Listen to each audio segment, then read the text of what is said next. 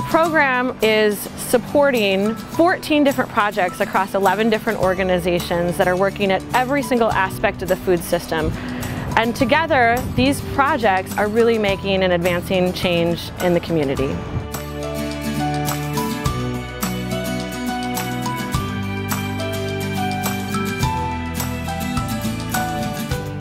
The mission of Green Garden Bakery is to bring fresh produce, goods, and healthy foods into like our neighborhood. It can like lift people up and change people's way of how they eat and think, oh, like we can live a healthier and better life.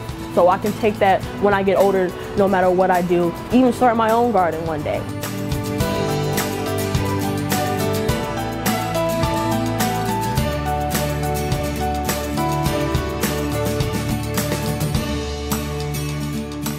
We need to find a foundation that keeps everybody together. And everybody loves food, so it's a way to get people together, to bring the unity back in the community. And by doing that, we're just basing it all around food, eating healthy, preparing your own food, because if you could grow your own food and sell your own food, you got a limitless amount of power.